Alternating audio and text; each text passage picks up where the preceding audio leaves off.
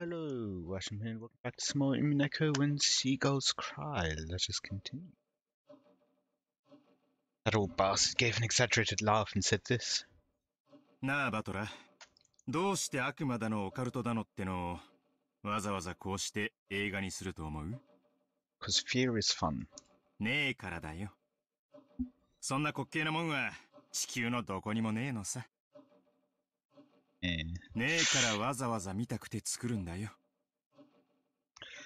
Well, and it's not just because they don't exist that people want to go to see it and people make a lot of effort making it. Because if that was the case, then it'd make other mundane things that don't exist and people wouldn't go out and see that. Um, hmm. だから俺はオカルト映画なんてちゃんちゃらおかしくて笑っちまうってんだ 俺に言わせりゃ悪魔やら妖怪やらより今年度の収支報告や機嫌を悪くした女房の方が1億倍も怖えってもんだぜさらに言うぜ俺に言わせりゃな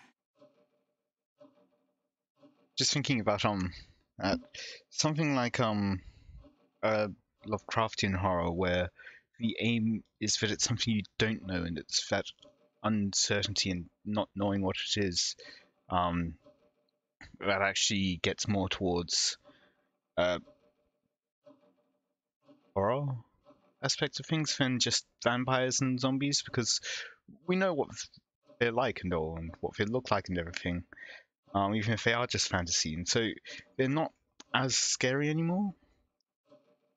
Meanwhile, trying to have something that you can't see in a movie doesn't quite work because you still get the visual aspect.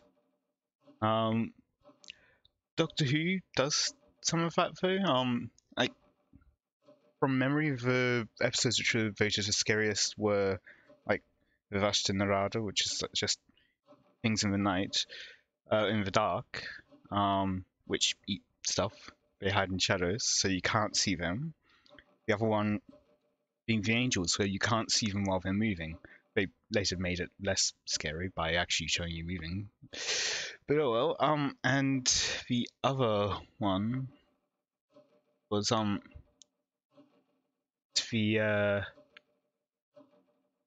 oh I don't know what it was, but it's like train kind of thing where even at the end you have no idea what it was um, but it seems to take I'm not sure whether it's taking over the doctor or if it's because it copies him and then like over time it starts copying him at the same time and then its copying overtakes him talking so yeah but a lot of the scary stuff works a lot better just reading rather than actually visual because then you can't see it. Anyway, I don't know where I was going about. I'll just continue. 心と生活にゆとりのある連中の娯楽的感情なのさ。いや。暇で暇でしょうがないから。連中は変わった感情で心を遊ばせたくて、悪魔だの、オカルトだのって文化を作り出したんだよ。People have always told stories.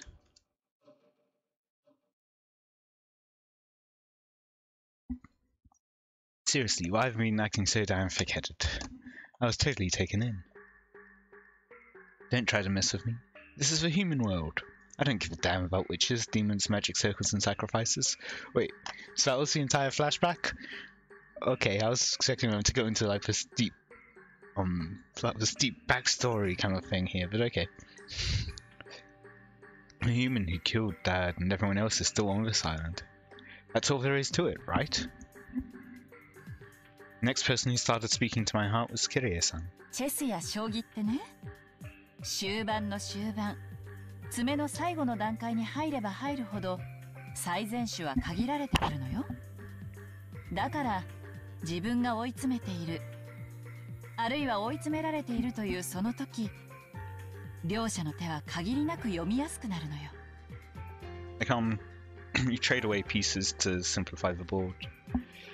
Um, that you're better able to calculate everything. つまり完全に追い詰められて打つ手なしって思ったその時こそ最も読みやすい瞬間なのよ。でも主勢に立った人間はどうしても考えが固くなって相手の手を読むことにまで考えが至らない。No, entirely agree with that. そういう時はねチェス盤をひっくり返すの For my strength, I slapped my face with both hands. Now my eyes are truly open. You don't understand anything, and you're completely cornered, just like I am now, isn't that the perfect time to spin the chessboard around? While on the defensive, I can't, we can't even guess at the corporate scheme. If we spin it around and look at it that way, just what else might we see? First off, at the time the corporate committed the murders, knew the island was being cut off by the typhoon. Therefore, they should have understood that even if they carried out the murders, they wouldn't be able to get away early in the next morning. In short, the culprit had begun without securing a way to escape. Furthermore, that bastard tossed the corpses in the storehouse. Who was then was even kind enough to say, "Here they are," with that weird bit of graffiti. In other words, since he'd probably find the corpses sooner or later, they wanted to show them to us. If we'd all been dim, hadn't noticed the storage shed, the culprit's goal would not have been achieved, would it? if you think about it this way, that bastard of a culprit. Since this morning, he must have been watching our every move with bated breath. After all, if we hadn't been so kind to discover what was in the storehouse, all of that hard work and preparation they did last night would have just gone poof. What did, there, what did the culprit want to make us feel by showing us the corpses in the storehouse? All six of the bodies had their faces noticeably destroyed. Um, I, I guess then in that case, yeah, to cause fear and panic in the survivors. Um, was it a grudge? A warning? The defacement of the bodies had occurred after death. So it hadn't been the means by which the culprit had killed. Didn't mean anything to those who had been killed. But it could definitely mean something to the one doing the killing. It did have meaning to those who found the bodies. And yeah. Culprit wanted to make it appear that they'd been killed so brutally. Well, they were killed and then brutally defaced, so yes.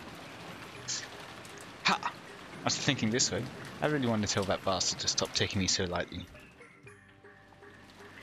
You just dance to that tune. If you're told, please be scared, you can't just say, really? Sure thing. Someone tells the great Ushiromiya Battler, the entrance is right here. I'm the kind of guy who'll start wanting to sneak in through the window. Next thing that had me concerned was that so-called magic circle of the shutter.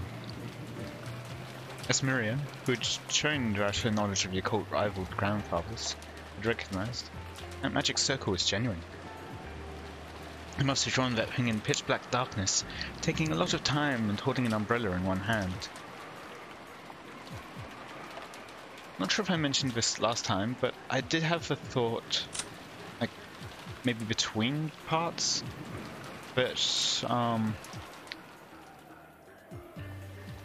yeah, when it was on the magic circle thing, freeing them from their, um, bonds and uh, whatever it was, um, how all of the um, families like needed the money. Now they're freed from needing money now. Yeah. Um, isn't that amount of hard work and perfectionism impressive? What purpose would have been worth all that effort? You were looking for a fan of your culture, in this mansion, most likely. All of us would naturally suspect grandfather. Did they want to make us think grandfather was involved? But if that's all they wanted, they could have just drawn any old scribble that looked like a magic circle. Wasn't like any of us amateurs would be able to tell the difference between genuine and fake. However, this magic circle is genuine, and furthermore, it had even been written in Hebrew. So this magic circle had a message. that could only be understood by someone with knowledge of the occult. A message is a form of communication. Really? By sending it, they were hoping for a reaction. Reaction? For some reason, we can't find Grandfather now. I don't know how Grandfather might have spotted the magic circle in the shutter. I don't think he needs to, and I don't think that's really the message that got him to be. Did he choose to hide himself in reaction to that? No. He. I'm almost certain he left. Not long after ever left? Not ever. Um. Uh. Natsuhi left. And He was in a good mood because he knows that Beatrice has returned. Because six people have gone missing. Something which only Mar um, yeah, Maria has noticed. No one else. Oh, and Kinzo, presumably. Maybe the servants as well. Um, but definitely not the family. Uh, no? Is a trap to make us suspect that grandfather had participated? He could read it, read it either way. Damn, that's annoying. what kind of reaction was the culprit hoping to get out of us by putting on this cult show? Somehow, that felt like the culprit's weak point. The letter from Beatrice that Maria had read aloud during last night's dinner sprang back into my mind. So you're going to think about this witch's epitaph, right? This is the freak you asked us to enjoy a battle of wits, you know. Isn't that interesting? This is a battle of wits between us and the witch. Will we be sucked up by her occult game first? Or will we pull off her fake skin first? There's a whole day until the typhoon passes. Why not enjoy ourselves? To this death game. Yeah. Okay. Suit yourself.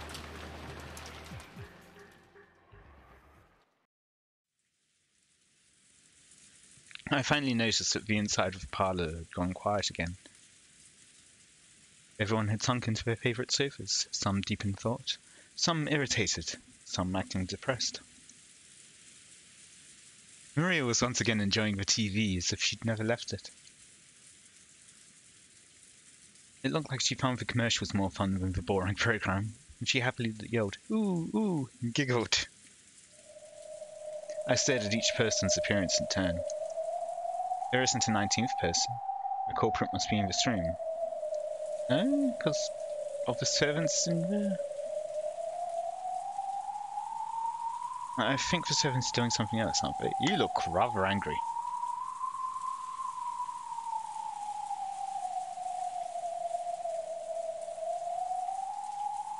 You look far too happy.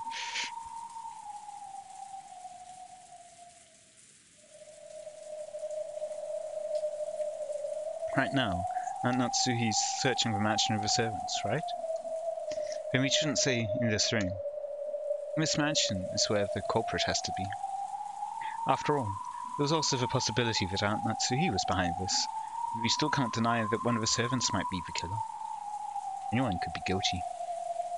Still, Aunt Natsuhi and the rest sure are taking their time. Uh, I had a thought that maybe um again, uh, thinking about the, and then there was none, one, none, I think. Um, but uh, maybe it, it, could have even been one of the victims, but no, there was still enough of their faces left that they could identify all of them properly. Wasn't damaged enough that it could have been a uh, fake corpse. Hmm. Of course, it's not a small mansion, but isn't this taking a little too long just to walk around, checking the windows and doors? Actually, wait. Didn't all of Kraus's face go? No, half. No, that's right, half of it. Uh, Kyrie is entirely gone.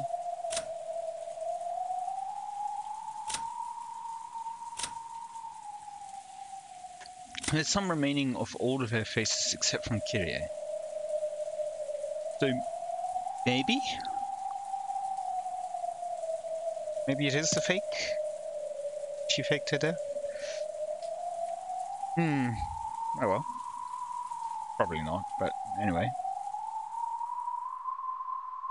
Just as I was thinking this, Aunt Natsuhi and the rest returned. Not one of them was missing. But our relief was short-lived. Everyone looked at Aunt Natsuhi in shock. The talk I'd had with Aunt Eva started to creep back into my mind. The possibility that the culprits had enough numbers or weapons to kill all the six at once. 驚かせてしまいましたね。はあ。OK。万が一に備えて持ってきたものです。After all, that thing in, Natsu- in Aunt Natsui's hand was a rifle. At a glance, its silhouette looked like a, hun- a lot like a hunting gun, but it was unusually short and kind of like a kid-sized weapon. Yeah. Does look odd. However, it had weightiness to it. It had a weightiness to it that made it clear it was no kid's toy. それは金蔵さんの銃ですなご存知でしたか そうです。お父様の古いコレクションの中にあったことを思い出し探し出してきました。ひゅーすっげえ。夏日おばさんそれ本物なんすか？ええ本実弾を発砲できますよ。昔お父様は野鳥を追い払うのに使ったりしていました。あら懐かしい。どこから出てきたんやら？私がいくら触らせてって言っても 指一本触れさせてくれなかったやつよ。へえじい様こんなの持ってたんですか？知らなかったですよ。お父様は昔西部劇にどっぷり使ってたことがあってね。あの世代はこういうライフル銃が大好きなのよ。結構年季の入った銃のようですね。でもこんな短い仕様のは初めて見ました。ああ思い出したわその銃。懐かしいな。昔好きやった映画のガンマンが派手にぶっ放しとったやつだわ。お父さんも渋いな。親方様がだいぶ昔に。アメリカより特別にお取り寄せになられたものですご覧の通り実銃ですので どうかこの件はご内密にお願いいたします手に入れられたばかりの頃は大層気に入られておりまして撃つより薬莢を出す動作が面白いらしくて 裏の森でいろいろとかっこつけて遊んでおられたもんですよ Hmm. し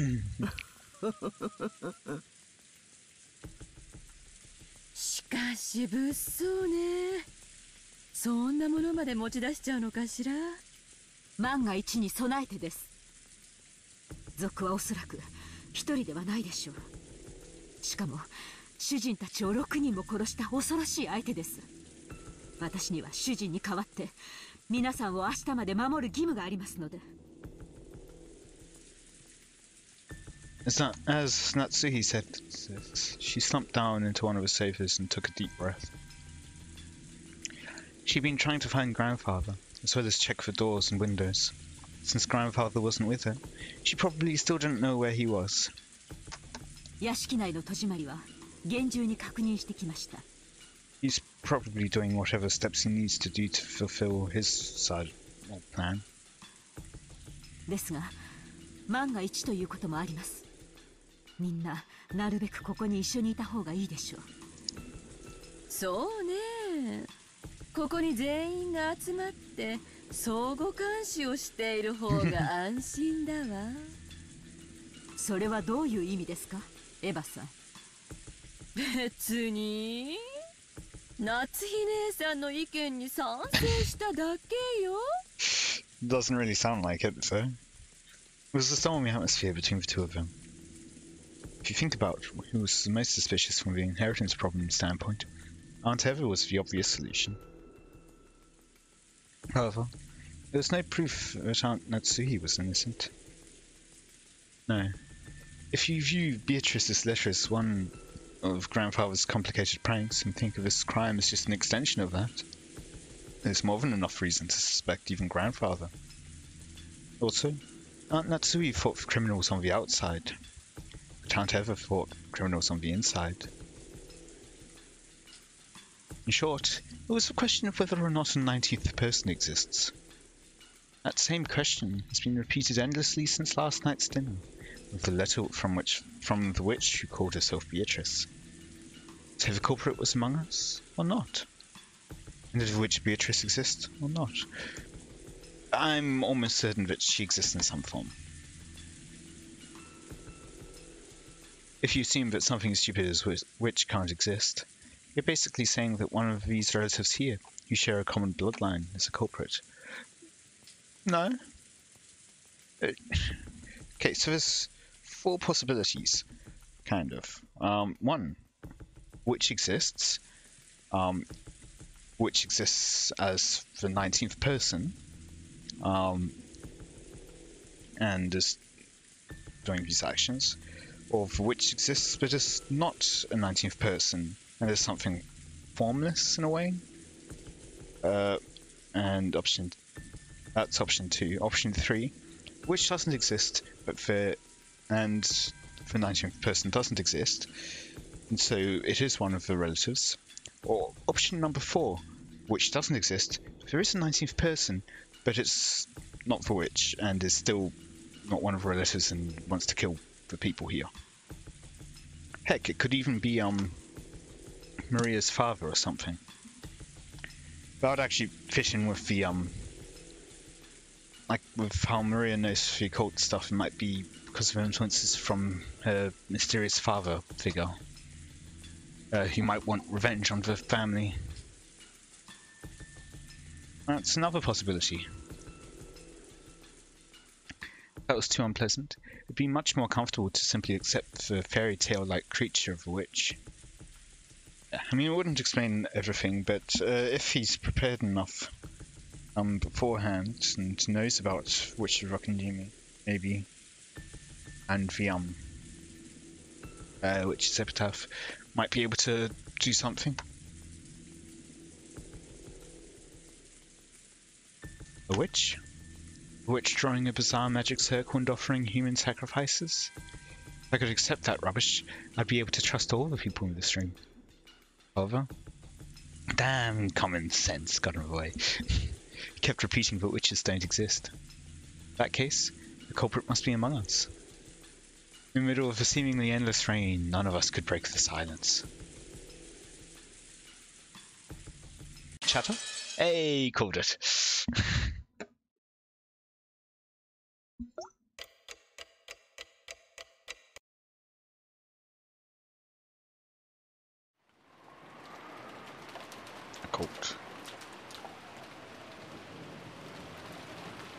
Lunch ended and the servants removed the tableware and went to the kitchen. The wind and rain neither weakened nor strengthened, and the island remained cut off from the outside world. At first, it seemed as though Natsuhi planned to stop anyone from taking a step outside the room. When it came time to prepare lunch, she finally realized that this would be impossible. They're not entirely cut off from the outside world in a way. They can't communicate, however they are still receiving a television connection. Hmm. Which then validates the point which I was about to make of the idea. Anyway, I think I read. I realized this would be impossible. However, in order to avoid having everyone, anyone alone in the kitchen, she told the three servants to go together. Because of that, the servants were the first ones given the right to leave the stuffy parlour, which had been packed with eleven people. Since breakfast had immediately followed that terrible incident, preventing most of us from eating much. Everyone tore into their lunches in silence. 私が洗いますから源氏さんとカノン君は少し休んでいてくださいな何か飲みます私は結構 カノンは僕も結構ですお二人とも 早朝から大変だったでしょ It's true. 参ってしまうのも仕方ないことですよ The only noise was that of Kumasawa washing the dishes, which resounded throughout the kitchen. Genji and Cannon sat in some chairs a short distance away, their eyes lightly closed. Just as Kumasawa had said, those two had probably built up a great deal of fatigue, working since early in the morning and then all the stuff they had to deal with. That didn't mean they could let it show in front of the relatives. Avoiding that was one of their virtues.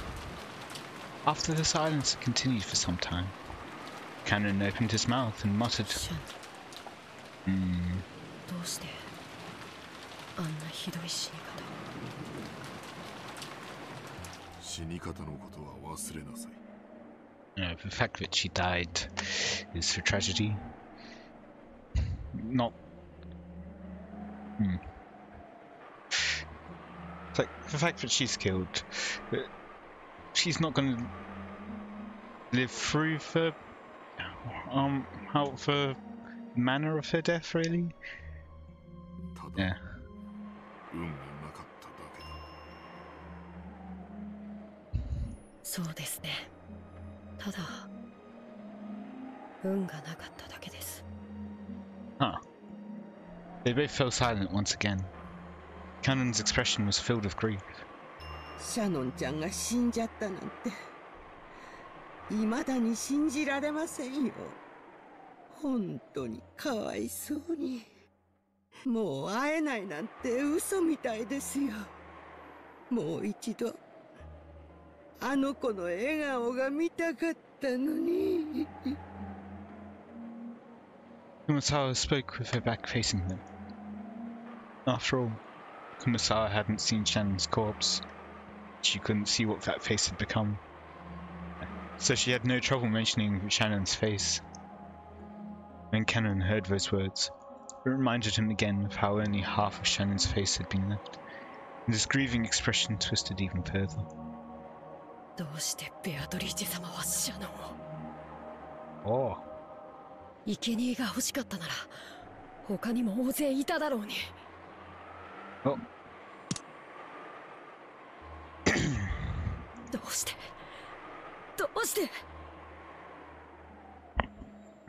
ただ 運が悪かっただけだ、うん、少しの運がたがえばシャノンの代わりにあそこに横たわっていたのはあるいは他の誰かだったのかもしれない。